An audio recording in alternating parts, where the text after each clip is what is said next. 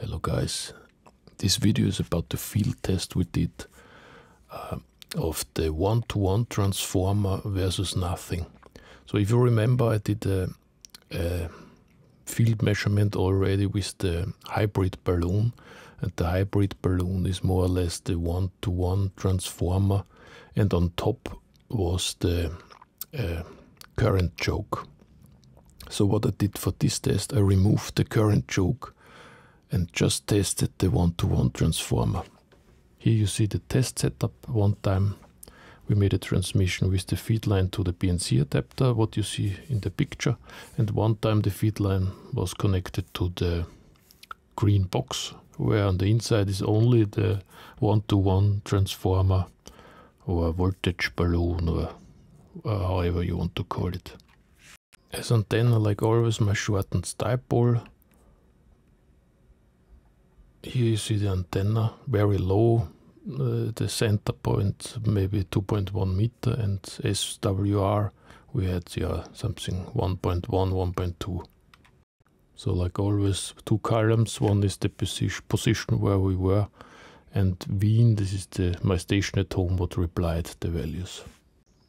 Here in the Excel sheet there was a choke after the transceiver so this you should we should remember. It stands on the top so overall the winner this time is the the balun also the one-to-one -one transformer we have more or less the same uh, receiving values with or without the transformer and uh, uh, the transmission was better a little bit than without the balun.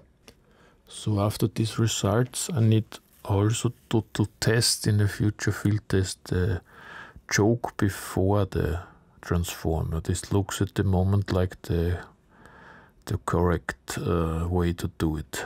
Maybe this was the reason why the hybrid balun was not not as good as the adapter. Thanks again to Sigi for making all the picture and also uh, helping with the measurements. He's always writing it on the paper. Yeah, this was again 13 14 kilometer walking. My rucksack was yeah, more than 18 kilogram. so I'm the next day after I'm always always a little bit sore.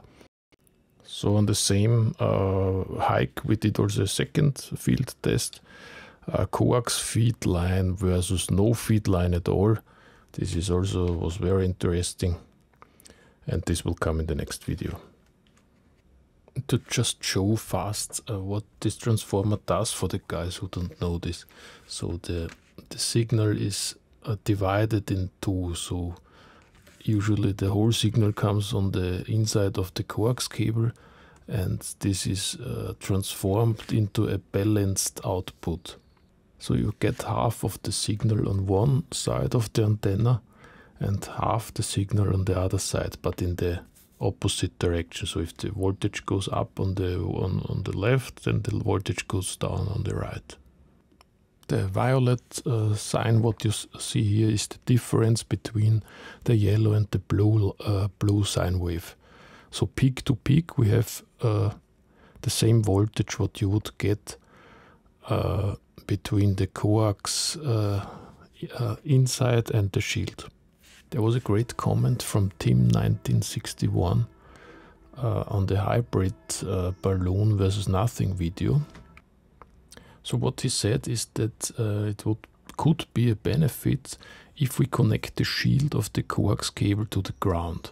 So if our balun, our balun is uh, making the signal symmetrical on the antenna, and then we connect the, the coax shield, what is usually hanging in the air in the field because everything is battery powered, there is nothing connected to the ground. But if we connect this to the ground, maybe there is a improvement in the signal output or yeah, hard to imagine what's happening, but this is uh, for another test. Uh, this will come in the future. So I need to test a one-to-one -one transformer with a connection to the ground, the shield of the cable, versus no connection, like I used uh, all the time now. So at the moment I'm not connected anything to the ground. So thanks again for watching and see you in the next video.